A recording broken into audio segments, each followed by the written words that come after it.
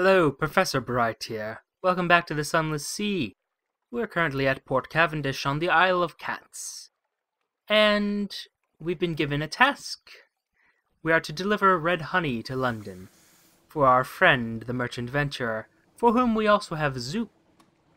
Now, my plan of attack is to go first to the Mangrove College, pick up a shady sort there, then we head on uh, north to Gaider's Mourn, make a stop by Mutton Island, and then get back to London. That's a plan, anyway. We'll see how that plan goes, how much of it we have to cut due to supplies and, well, fuel. Now, first of all, uh, Mangrove College, yep, still directly to our left. To the west. Hmm. It's going to be a balance between fuel and terror. That's going to be my main concern at the moment. Ah, the Sea of Autumn. Delightful place. We recall the birds.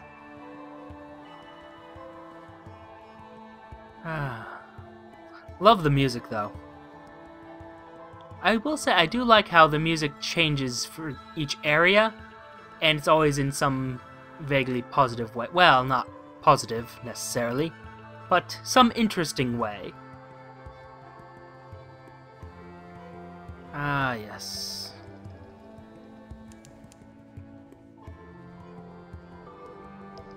Yeah. I'm gonna be honest, uh, I'm not a fan of the Port Cecil's music or any of the northeasterly areas at the moment. They're all very uh, unsettling. But this place, it's got a nice party beat. Let's pick up a passenger. Got a shady sort wants to get to Gaider's Mourn. Okay. Could gather supplies. Could do, could do. Oh. Solace fruit, you say? Hmm. This would require seven memories of distant shores. Not quite willing to do that. Let's compile our port report first, before we do anything else. Gets us some supplies, always delightful. Could eat, drink, and be merry. Get rid of some of the terror, so it's less of a concern. And... I'm curious enough. Let's go into the Wispways.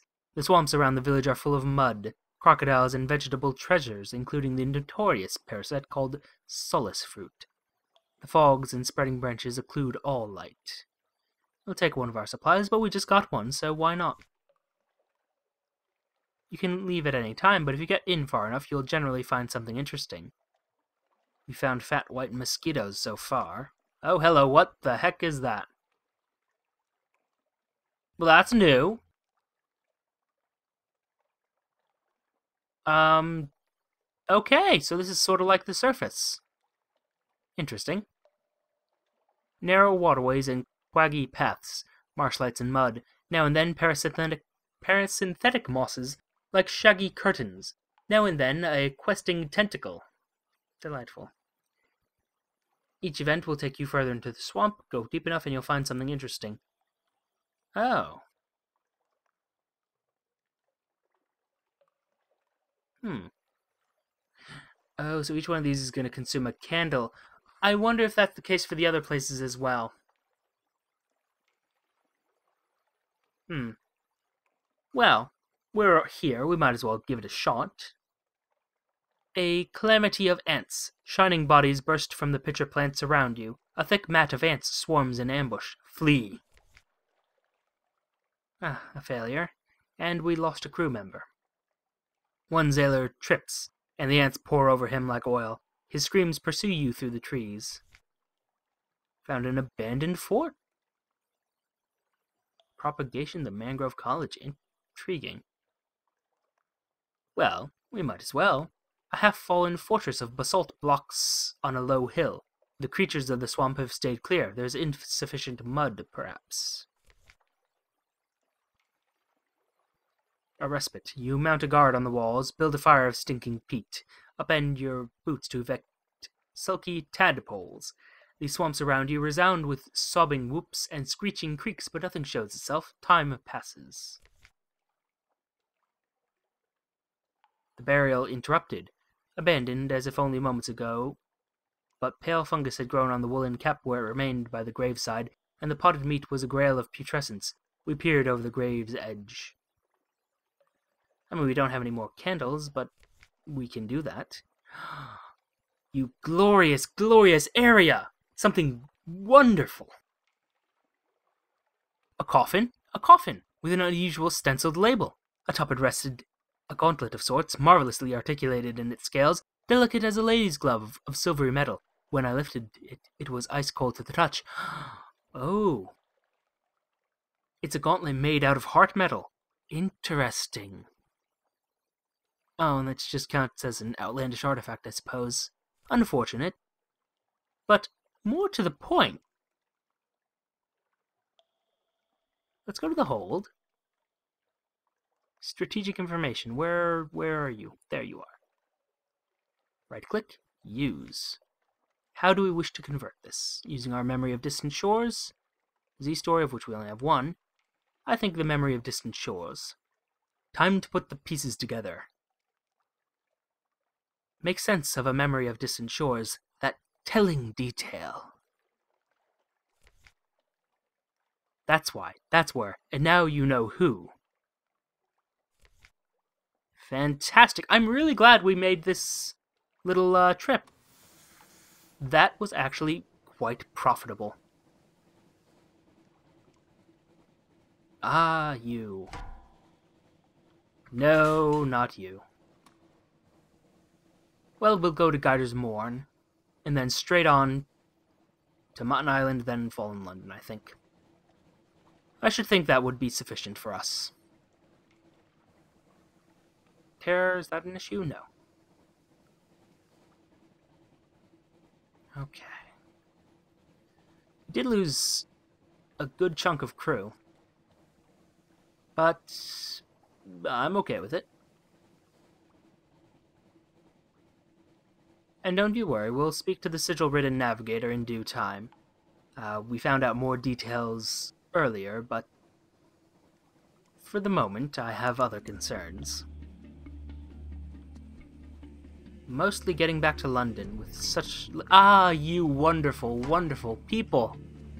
Hello, how do you do, my friend? Oh, no, no, no, that's my position. There we are. A moment, please, while I teach this pirate a thing or two. Hmm.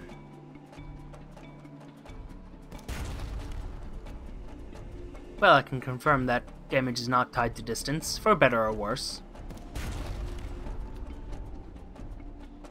Three more shots should do it. Perhaps more.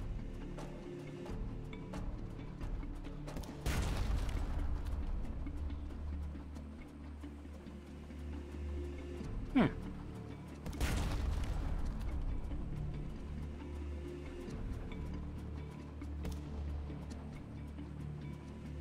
No, what the... Was deeply upsetting. I wish you do not... I wish you would not do that again. There we are. Okay. Loot and scuttle it. Got some fuel, got some supplies. What do we got here? Prisoner's honey. Delightful. Which we can sell at Gaider's Mourn for a decent profit.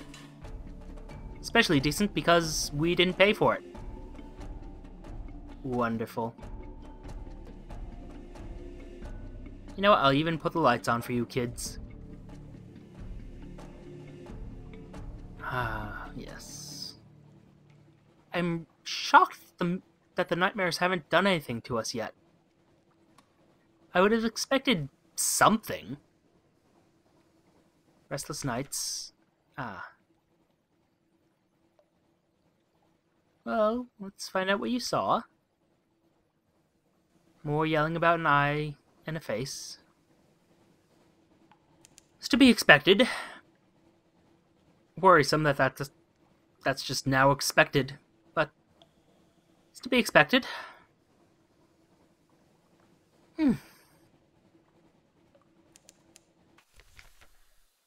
Gaider's Mourn. Now, drop off our shady sort. And money. Again, some differential fellow in Fustian pays us. Oh, I suppose we could gather intelligence. Aha, more success. Hmm. Why not? Let's explore as well. I do like to turn the situation around. I got stories for you, friend. Unfortunately, I should not have used them. But he's experienced horror and wonder, but so have you. And your tale is so much the fresher. You wrestle with each other's histories until at last he concedes. Here, he says, this is where it all began, with the astronomer and the ephemerides he whispers in your ear. Some fragments. Not very profitable use, but, um, well. Well, we shall take it. Another 124 fragments to gain a secret. We shall see what happens when the time comes. I think we should be able to make it back to Mutton Island, no problem. Get to London, no problem and then then we'll plan out our next expedition towards the Chelonate. Unless, of course, uh, problems arise due to our possession of certain substances. Oh dear. I mean, we should be fine. We did just get checked by the uh, ministry, so maybe they won't do it twice. Although we did just get suspicion, so you know. Hello. Oh, the Abbey. Which means, yep. We could go to the Abbey and sell all our supplies for a bit of a profit. Might not be the best idea. That actually, yeah, sell two of our supplies, then use that last supply to just get us back to London. That's kind of sneaky. Which is why I'm going to probably do it. Uh, first, though, hey, buddy. I have an echo. Could uh, explore the shore. What do you got for me? Something glinting. Just bottled glass? Oh, a tangle of seaweeds and pearls.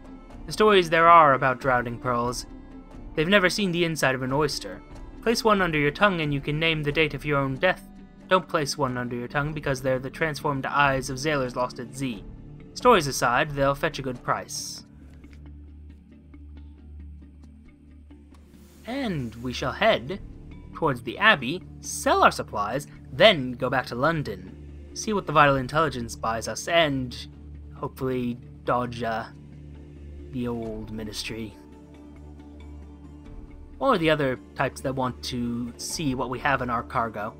I'm also going to try to kill this guy, because then we can get rid of all our hunger, and then we can actually sell all three of our supplies. It'll be great. Come on. Yes. No. Why would you... Mm. I am not happy with you, Crab. You have damaged my plans.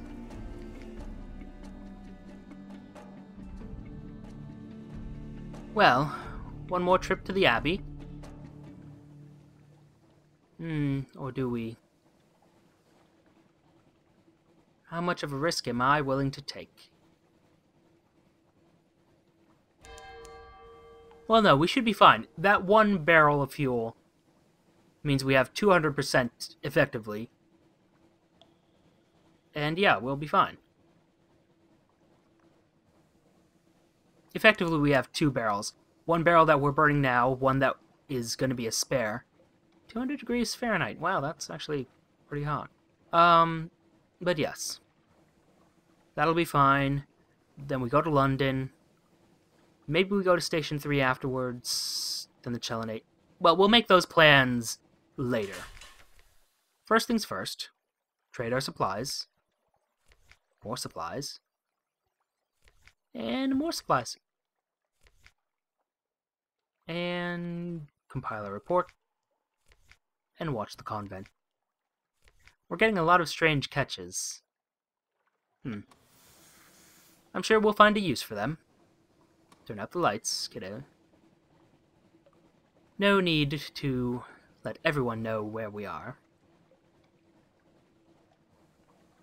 Ah, but now we can get back to London and breathe a sigh of relief. Because we're fine. Everything's fine. There's jellyfish right near London, that's worrisome. But we're fine. Just fine. Even terror isn't that bad right now. Okay. Alright. Huh, we might even have a barrel of fuel before we get to the end. Oh, don't do that. Don't don't even give me that. You're right next to shore. I don't want to hear any of this. Oh, we're terrified. Uh, none of that. None. Oh, that's interesting. So if it's green, it looks like it actually decreases terror. Well, it looked like it decreased terror.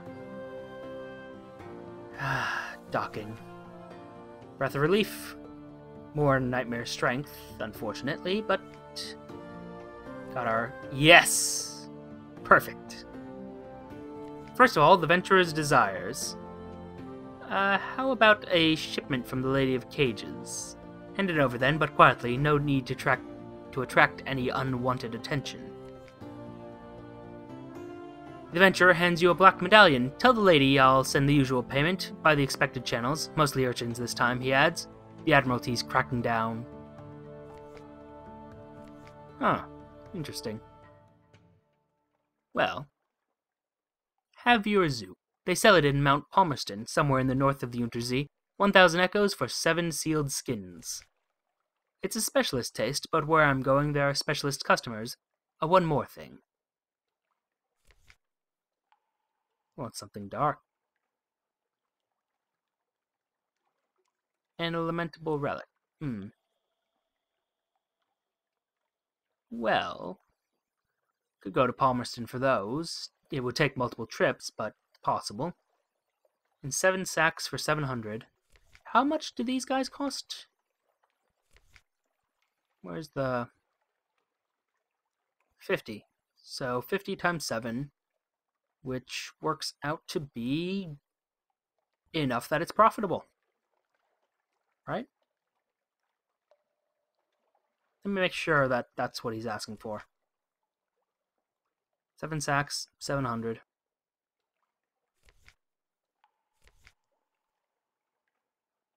Now, admittedly, this is not the most profitable use of our echoes, and I just realized we didn't sell this back at Gaider's Mourn. Pity. Sell it now.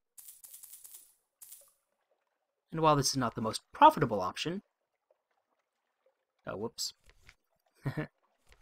yes, but as I was saying, not the most profitable option, but it is the safest. Gained two objectives. Hmm, weird. Odd, but okay. Something dark. They grow it in the Elder Continent to the south. You can find it in Adam's Way or Port Carnelian, or the Khanate, perhaps. Seven under echoes. Yes, perhaps I just drink a lot of coffee. This'll put fire in our belly, in all our bellies. We'll need that. It's cold out there. One more thing. I can just keep doing this? Seems kind of exploitative. We won't do that.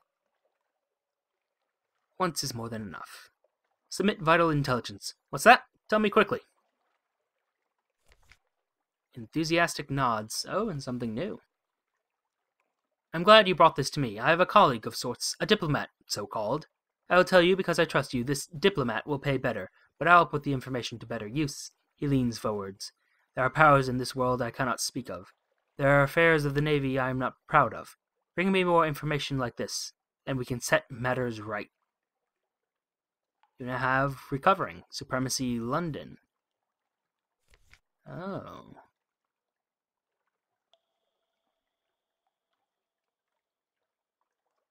Well, we could. Hmm. Ask the Admiral what he thinks of the voracious diplomat. The diplomat, a half legendary, all infamous figure whose connection to the Admiralty is obscure. A frank scowl. An unprincipled scoundrel, the Admiral snaps. If you have intelligence, bring it to me. Don't go off the books. Hmm. We'll submit our report reports. Although, unless I am much mistaken, that looks like that's the voracious diplomat we discovered here.